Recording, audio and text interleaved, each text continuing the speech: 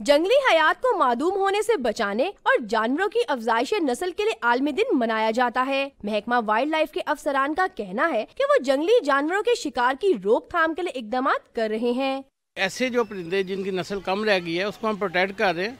उसको उसके सिलसिले वाइल्ड लाइफ डिपार्टमेंट एक्शन भी लेता है, लोगों को सजाएँ भी हो रही हैं और उसको हम पकड़ते भी हैं।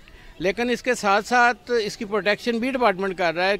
तलबा ने भी इस दिन की मुनासबत से पेंटिंग्स के ज़रिए आवाम को जानवरों की नस्ल बचाने और इनसे मोहब्बत का पैगाम दिया। लोग जानवरों को मार रहे हैं और उसका ना पैदा होता जा रहे हैं। हमारी कीमती जानवर जो कि हमारे मुल्क का असासा हैं। उसके लिए हम बेसिकली यहाँ पे आए हैं और उसको पेंट करके लोगों को एक पैगाम दे रहे हैं कि उनको सेव कीजिए। These things are important for us और ये समझने कि एक इको सिस्टम है, एक चेन है, जिसकी वजह से हम एग्जिस्ट करते हैं। और ये एक तो हमारे इन्वायरमेंट की ब्यूटी भी है।